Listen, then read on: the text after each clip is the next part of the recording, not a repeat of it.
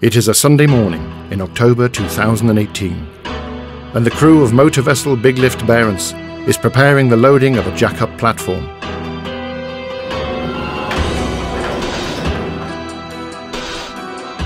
BigLift Barentsz slowly inches herself underneath the rig. With her own engines, two bow anchors, a stern tug connected in a bridle, and four crosswires from her own winches to the platform to ensure the correct position of the rig on deck later during the process.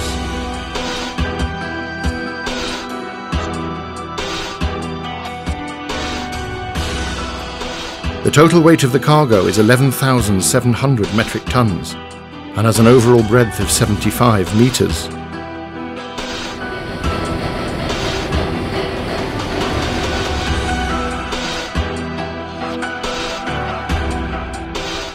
The legs are 133 metres high.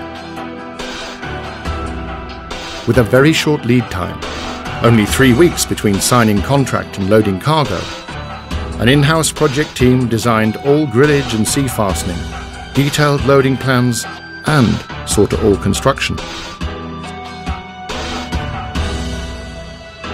Before loading, everything had been fully checked with close involvement from the Marine Warranty Surveyor all to make sure that the structural integrity of both the rig and the vessel were maintained.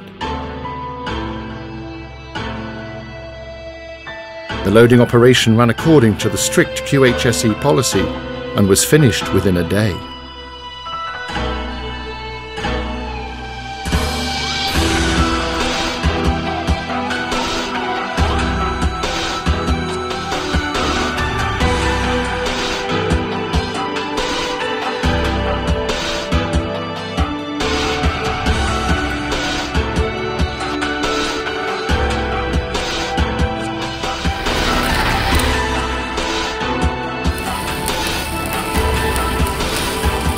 After sea fastening, BigLift Barentsz left Flushing for her 18 day sea voyage to Africa.